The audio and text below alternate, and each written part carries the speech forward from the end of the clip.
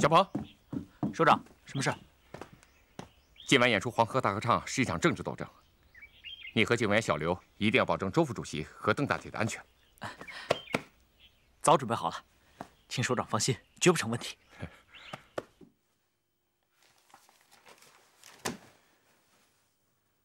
今天晚上，你们要执行一个特殊的任务，那就是混进演出《黄河大合唱》的剧场，让他们不能演出。可以砸场子吗？可以，但是你们绝不许打着军统局的旗号去砸场子。是。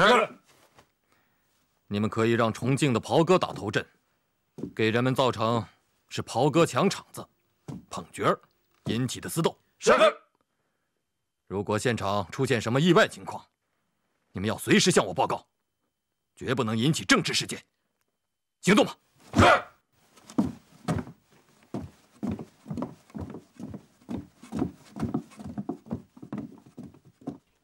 华南先生，黄河大合唱演出的请柬你收到没有啊？哦，好，这我就放心了。我们晚上见。嗯。恩来，看我这身打扮怎么样？嗯，不错。哎，你看我穿什么好呢？我呀，都替你想好了。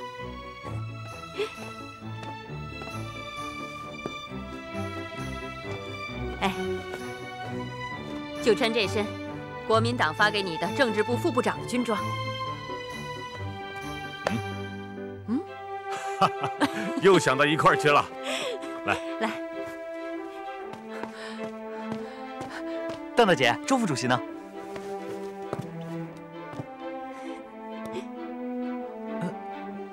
周副主席，您今天这怎么了？怎么把国民党中将的衣服给穿上了？这太阳啊，从西边出来了。怎么样？呃，蛮精神的。蛮精神的。啊，精神，很精神。来，走。小鹏。哎。又作何评论呢？啊，如果我是从身后看。我我一定会认为这是最帅的国民党将军挎着太太出席宴会，这就对了。走。什么？还说这就对了？大家都打扮好了吧？周副主席今天好精神啊！邓大姐，我们都认不出你来了。是是。哎，你们小超大姐今天晚上漂亮吧？漂亮。走，看演出去。走好，走走走走。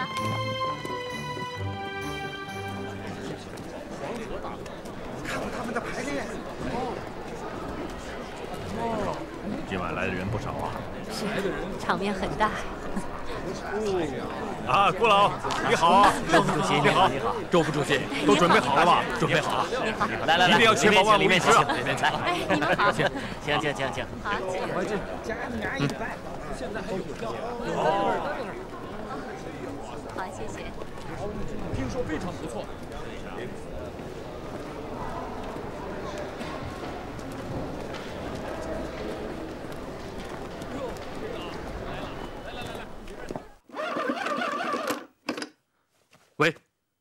我是戴笠，我有万分紧急的情况找校长。不要这样危言耸听，天塌不下来，慢慢讲。校长，国民党党政要员王昆仑、张冲等人前去听黄河大合唱了。还有谁啊？还有郭沫若、杨汉生、田汉等文化名流。我想还有人吧？有。周恩来突然穿着国军军装。佩戴中将军衔，携夫人邓颖超参政员前去听黄河大合唱。你给我听着，立即告诉你的部署，不要给我惹麻烦。是。谈何容易？弟兄们都下场到位了。哎，上峰，上峰说谁要惹出麻烦，叫谁的脑袋？那还等什么？趁着没开眼，赶紧把弟兄们都叫出来。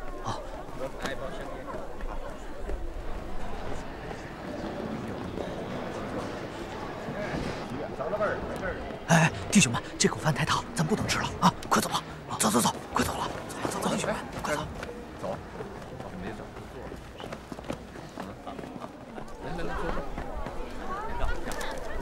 好，谢谢。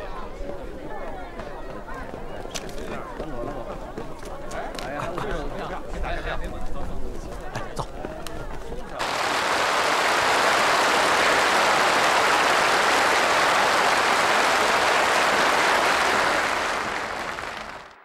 为庆祝海豚大战胜利，重庆文化艺术界联合演出《黄河大合唱》，作曲冼星海，作词光蔚然，指挥兼男中音独唱赵峰，大提琴助奏李元庆，朗诵当代著名诗人《黄河大合唱》词作者光蔚然。黄河大合唱演出现在开始。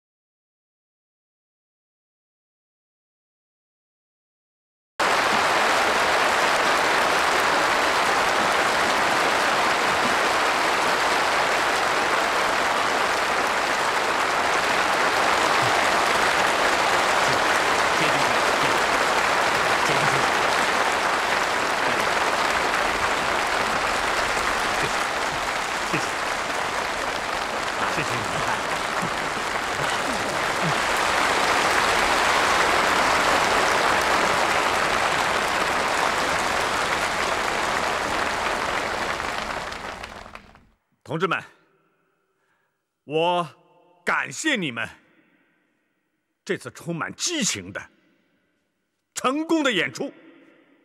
下面，请我们文坛盟主，我们敬重的郭沫若先生发表即兴讲话。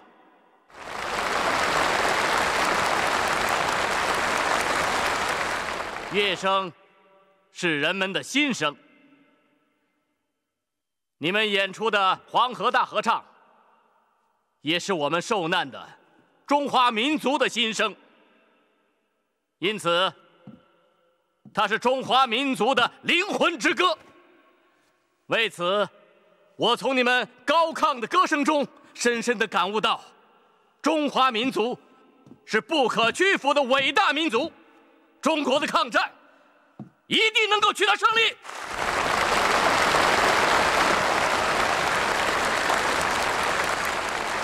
刚才郭老讲的非常好啊！由此，我想到了一个问题：一个文学艺术家，只有融进了时代的大潮之中，他所创作的作品才能够体现民族的精神。我预祝你们能够创作出像《黄河大合唱》一样的作品，被郭老称之为中华民族的。灵魂之歌，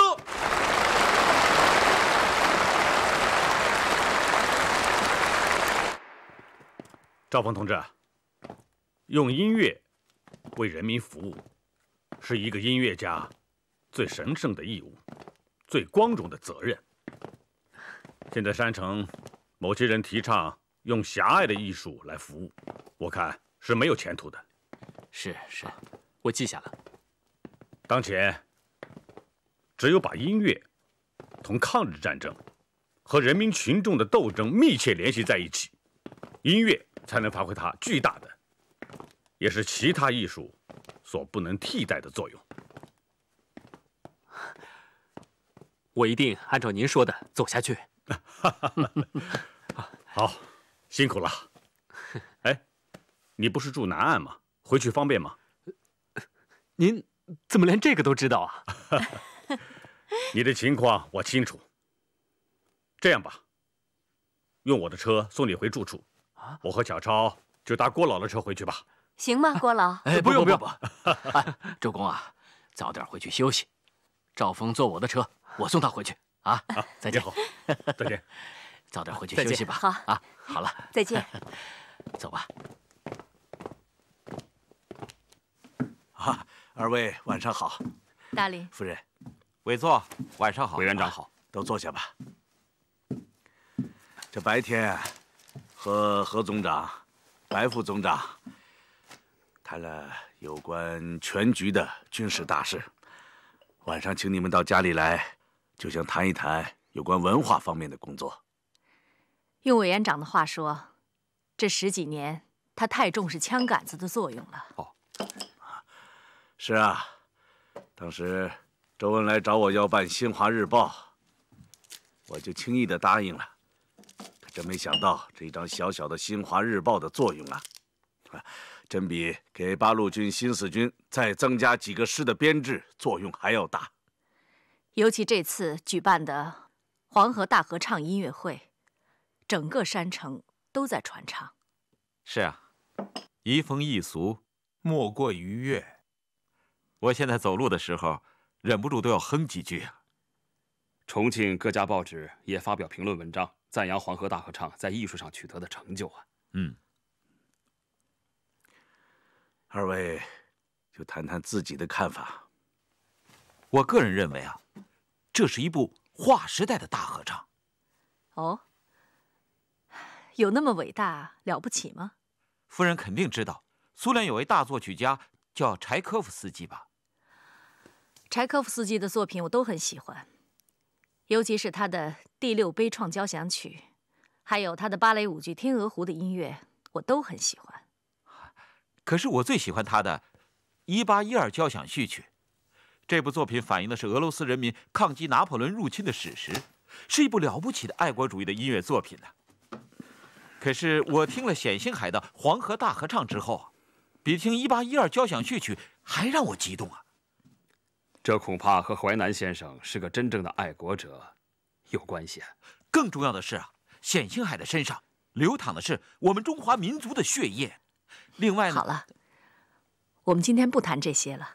那么你们二位再说说看，国民政府投入了这么多的钱财、物力、人力去搞文化、办音乐学校，为什么就培养不出一位像冼星海这样的著名作曲家呢？呃，就像委员长花了很多钱去训练军队，但不一定能培养出当代的孙子和诸葛亮一样。恐怕原因是多方面的。我最担心的是，随着整个山城都在传唱“风在吼，马在叫”，人心呐会被唱到共产党那边去。我更担心的是，郭沫若手下的那批文化干将，一定会借助黄河大合唱大做文章。所以，你这位政治部部长一定要密切注视这些文化人的动向。让他们必须按照我们规定的宣传方针办。是。中共中央日前发出关于发展文化运动的指示，明确指出，发展抗日的文化运动，不但是当前抗战的武器，而且是在思想上、干部上，准备未来变化、以推动未来变化的武器。对，我再补充一点。只是明确的指出，特别是在国民党统治区，应该把发展文化运动问题特别的提起注意，应该把文化运动的发展、推动及其策略与方式等问题，要经常的排在我们的工作日程上。好啊，我建议宇文来和凯丰同志负责文委的工作。嗯，好，我同意。好，我准备与小超去一趟北碚。看看住在那里的教育家和文学家，嗯，还要发现像冼星海这样的大艺术家，将其送往延安，为抗战多写几部伟大的作品。另外，我日前收到了中共中央关于开展敌后大城市工作的通知，为了便于领导和推动敌后城市工作，中央成立了敌后工作委员会，由我负责，所以南方局的内部工作也要做适当的调整。等我从北碚回来之后，我们再开会讨论，并做出决定，可以吗？嗯嗯，好好的。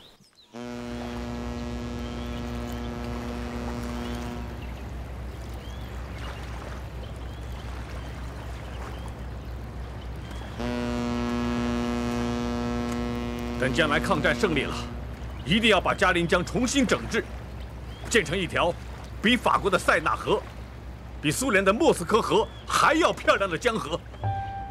我看，首先要把祖国从苦海中救出来，有了国家的尊严，人民才能办这些事情啊！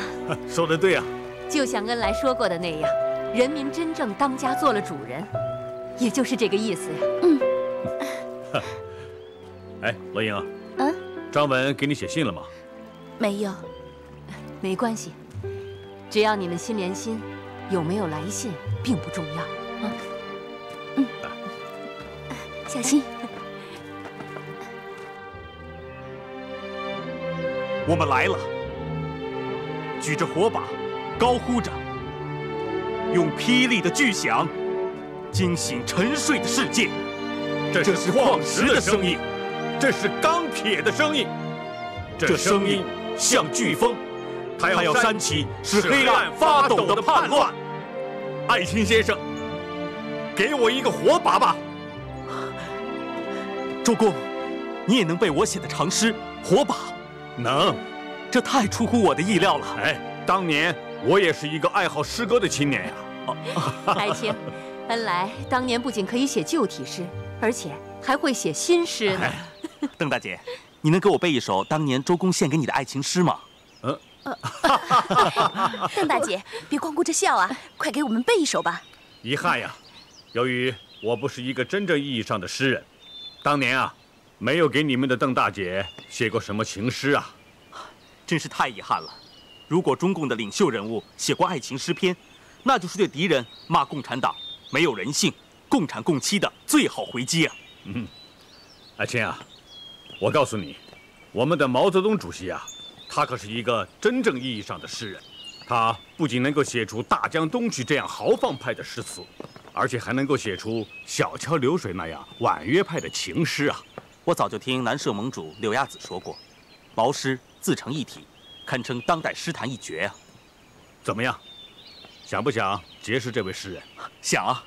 嗯，等时机成熟了，我一定给你介绍。谢谢。哎，陶行知先生在吗？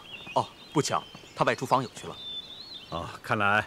我们只好临时改变行程了，请通知一下胡峰同志，让他转告住在北碚的有关文学艺术家们，我们一起先游缙云寺，晚上宿北温泉。好的。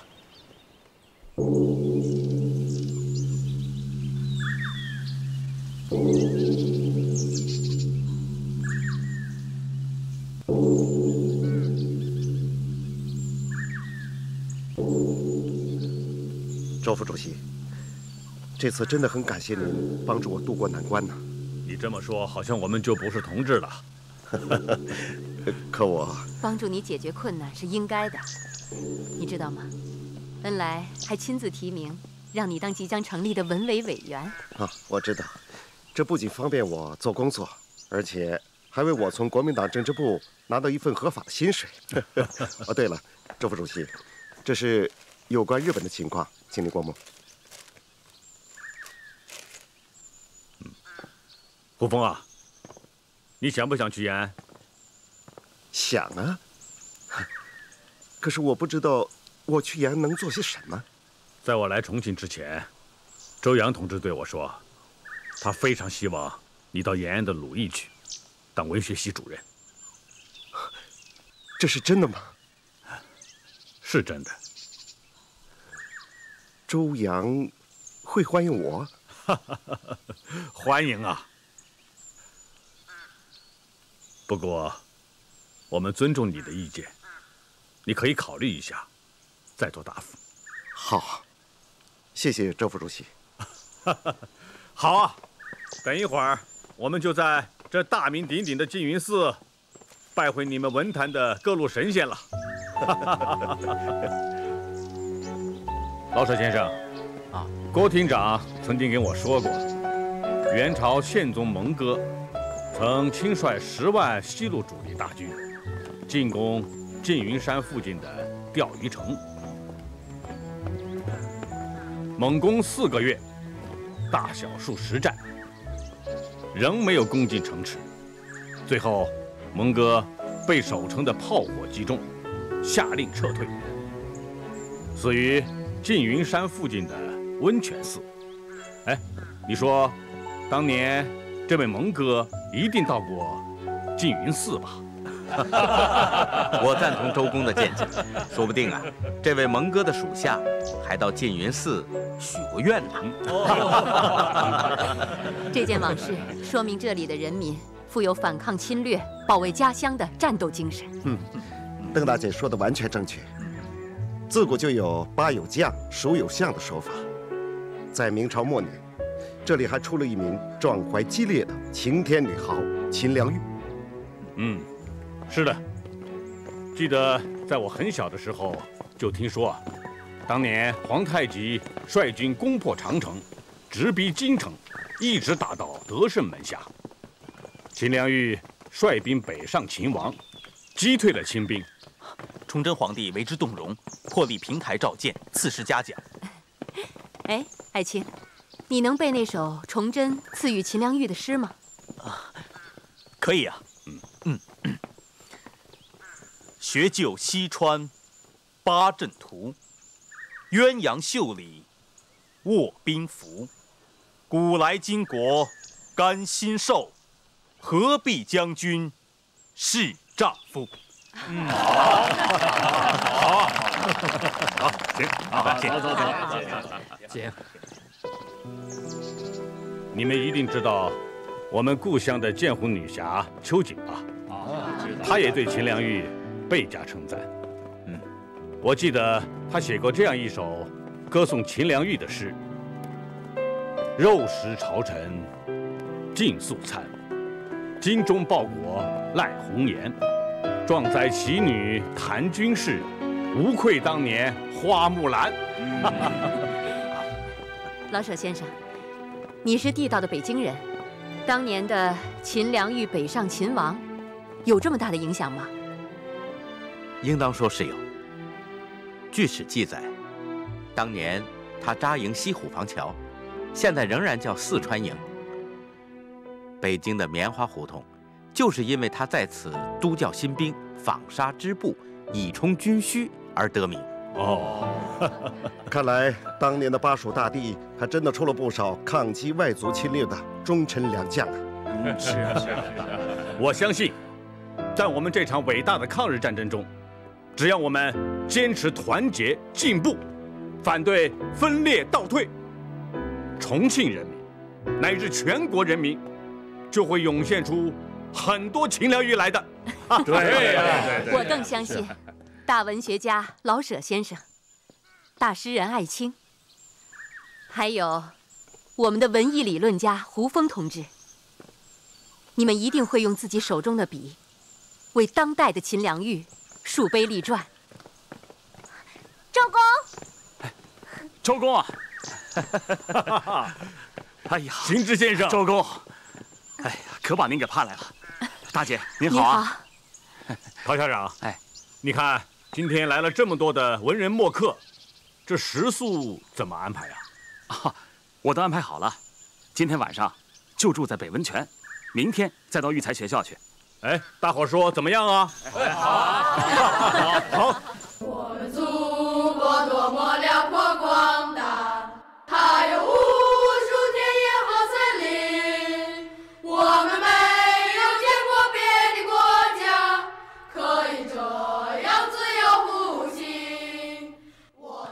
您听，歌舞厅啊，正在教孩子们唱歌呢。哎，孩子们唱的还真不错呀。是啊，好，请。唱的真好。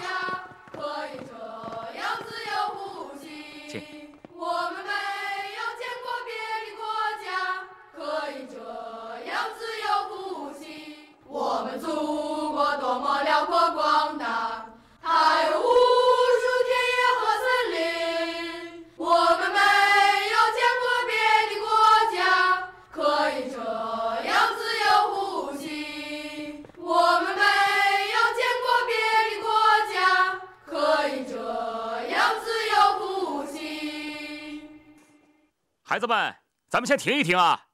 你们的周伯伯和邓妈妈来看你们来了。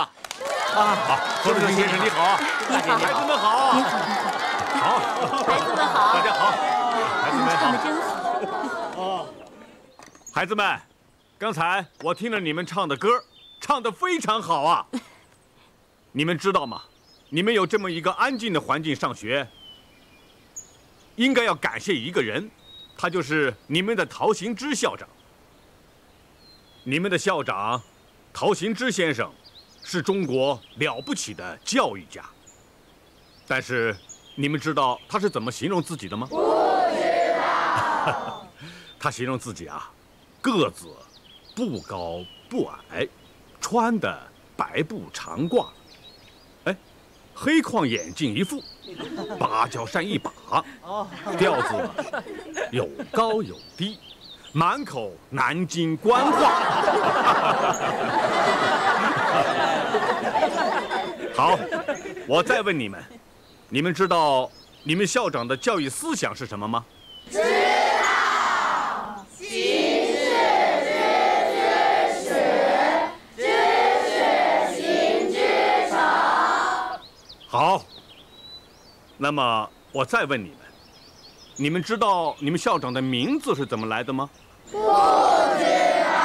哎，我告诉你们啊，把你们刚才说的两句话合在一起，就是你们校长的名字。陶行知。哎，对。哎，孩子们，都坐下来，伯伯给你们说几句话好吗？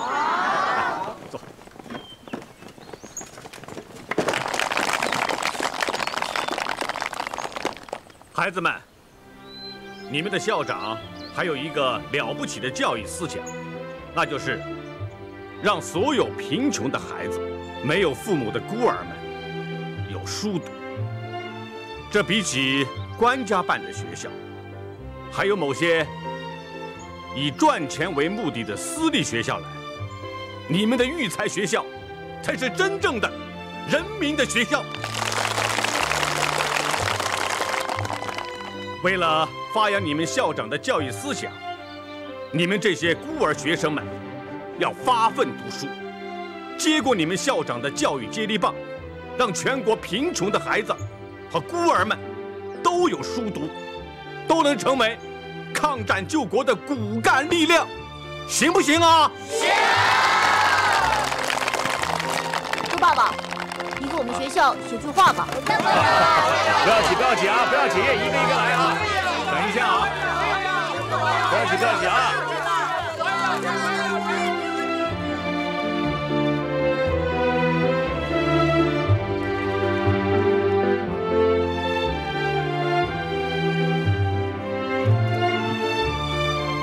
孩子们，希望你们为祖国努力学习，为中华崛起而读书，一代胜似一代。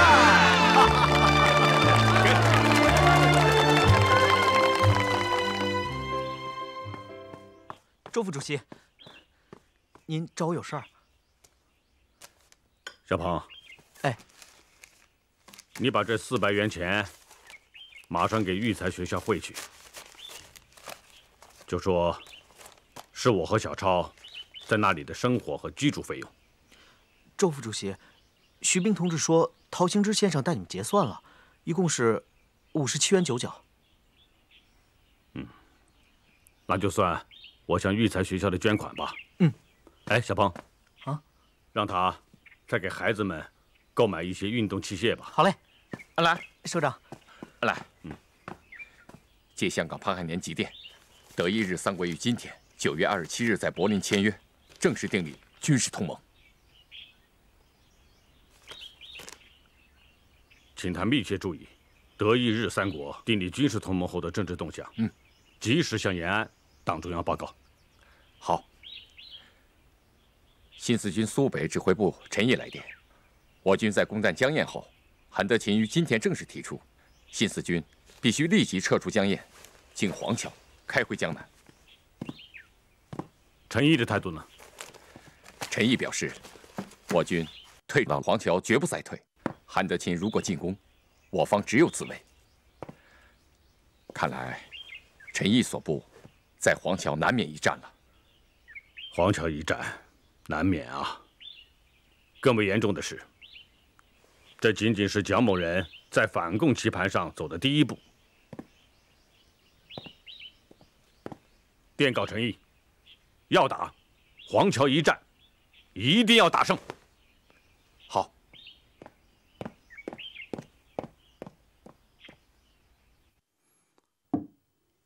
诸位都已经知道了，今年九月二十七日，德国、意大利、日本在德国的柏林签署了军事同盟条约。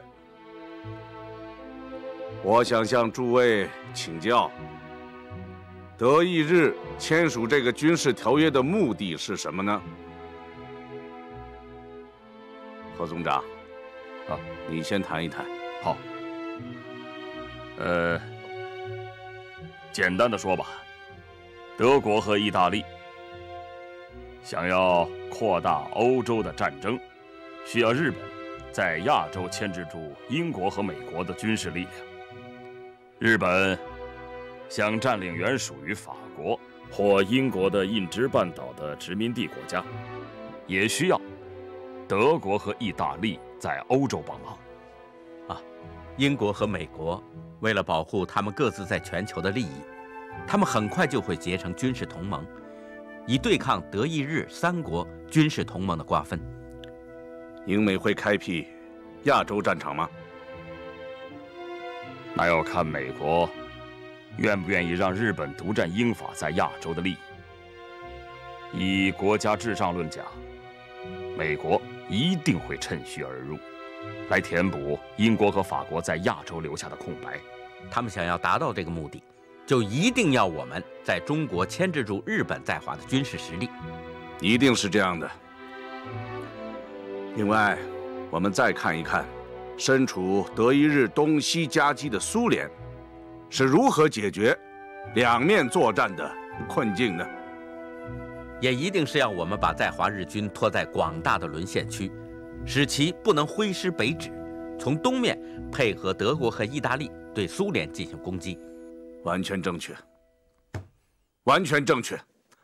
从现在起，我们将利用即将形成的两大军事集团，达到我们一统中国的目的。换句话说，我们要迎来消灭八路军、新四军的最佳时机。未作高见。在这个最佳时机还没有到来之前，我们首先要消灭新四军陈毅所部。何总长，你给大家报告一下黄桥一战的部署。是。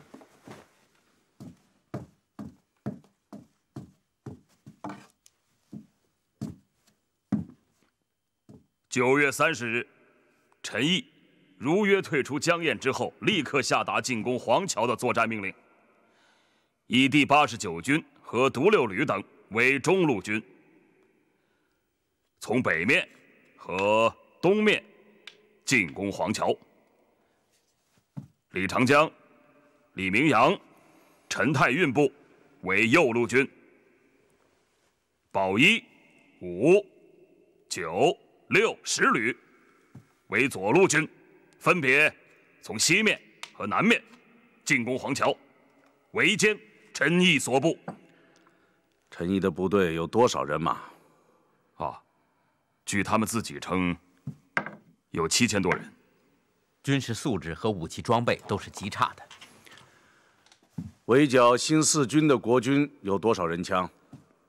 仅中路军就有十一个团，一万五千余人，都是国军的主力。很好，电告韩德勤，让他通力合作，全歼陈毅所部与黄桥地区。是。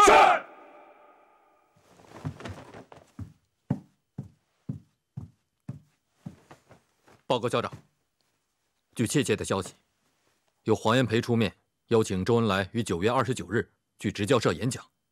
据说，前去听讲的各方人士不下千人。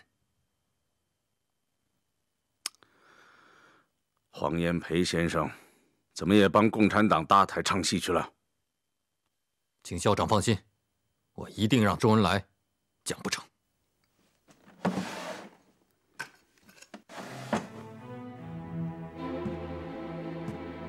九月二十九日，由黄炎培出面邀请周恩来去执教社演讲。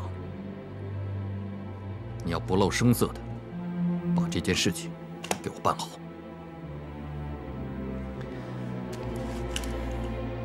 请戴老板放心。